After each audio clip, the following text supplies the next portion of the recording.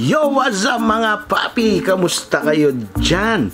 Ayan, nandito na naman tayo sa isa pang vlog, sa isa pang unboxing.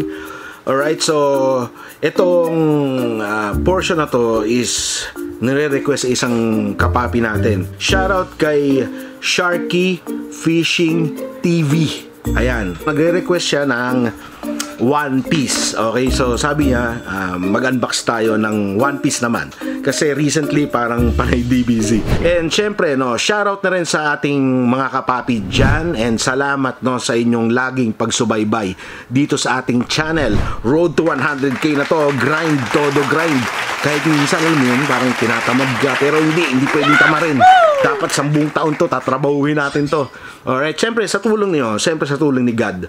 Yan, basta basta kay God walang imposible. Kaya sabi ko kay God, tulungan niyo ako Lord na ma-achieve to um, and para rin sa ating mga viewers, para sa inyo. Ayan, yan. Kayo ang aking inspirasyon mga papi. Alright, para mag-upload lang na mag-upload. Sige lang, grinding lang. Um, shoutout sa ating mga kapapi. And syempre, especially kay Highlight Hanapi. Ayan, shoutout sa iyo, papi. Ayan, and syempre kay Boss Gorio TV. Ayan, shoutout din sa iyo, papi. Okay, ano bang i-unbox natin? Ayan, isang malupit na Straw Hat Crew. Ito, marami to. So, hindi ko alam pa paano gagawin natin dito, no? So, mabilis ang unboxing to kasi madami. So, hindi lang to isa, hindi lang dalawa, no? Hindi tatlo, no? Siyam sila lahat eh. Okay, siyam. Ito ang unbox natin, mm, isa. Meron tayo dito Frankie. Styling, uh, by the way, styling na Film Zeto special, alright? Meron tayo ditong Usop. Meron tayo ditong, ayan, Sanji. So, isasahin natin to. Alright, si Nami. Sino ba? Si Brooke. Okay, Brooke. Siyempre, yung aking favorite, si Zoro. Zoro yan eh. Siyempre, Nico Robin. To, last but not the least, actually dalawa na to, no? Si Luffy at saka si Chopper. Alright. O, oh, yan, na natin to. Let's go! Yo, yo, yo, papi!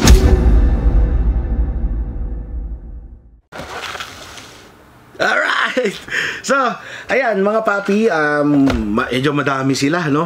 Alright, so by the way, uh, BIB na to, no? Okay, BIB, um, ibig sabihin nun back in box. So, na-open na to. Alright. So, ayan, pakita ko muna sa inyo yung box, no? Usually, mga papi, um, halos identical yung height nila. Okay, yung laki ng box, pare-parehas. No? Para may idea lang kayo. Alright, sukatin natin yung height ng box. Ito, meron tayo ritong tape measure. Ayan. So, ang height ng box na nasa mga almost 6 inches, no, para may idea kayo. So, dahil styling to, hindi siya ganun kalakihan yan. Uh, paano ba gagawin natin dito? Okay? So, unbox na natin. Let's go!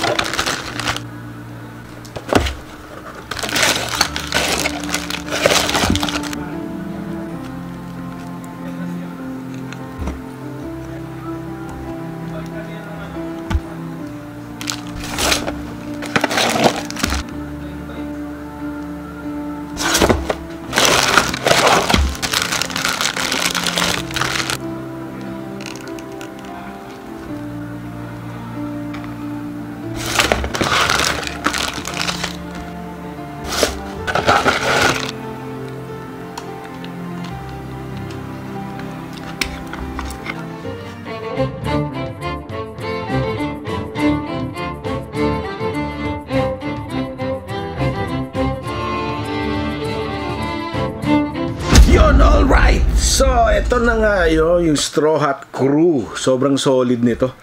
Okay, sobrang solid ng mga Straw Hat Crew na to. So, ayan, Sham sila, no? Sham sila. Film Zay, na usually ang Film Zay is more on naka-red sila.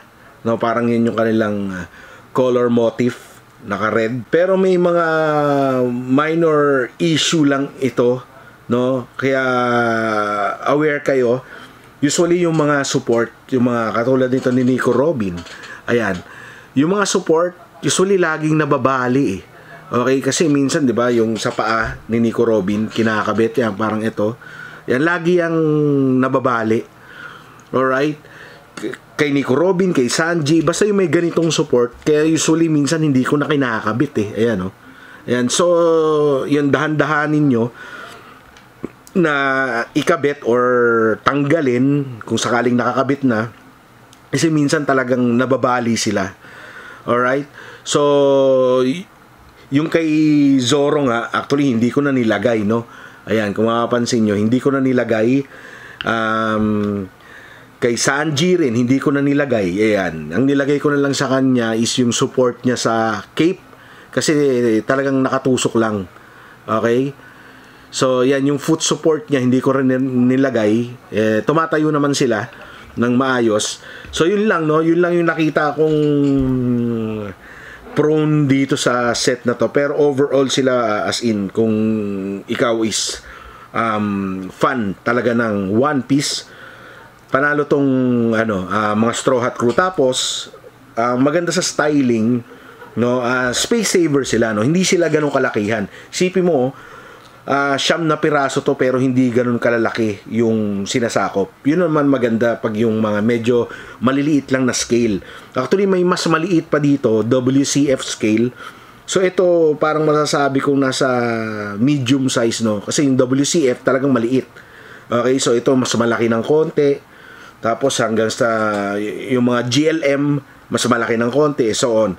So, mare-recommend ko to sa mga One Piece fan no uh, kumuha kayo nito since sobrang solid to. Yun lang nga lang i-ano nyo yung mga support na laging prone sa bali yung mga support. So since maliliit lang sila yan no? Since maliliit lang sila minsan ano rin prone din sa laging nawawala. Medyo madami sila eh no? So i-montage na lang natin to para mabilis no? Alright so let's go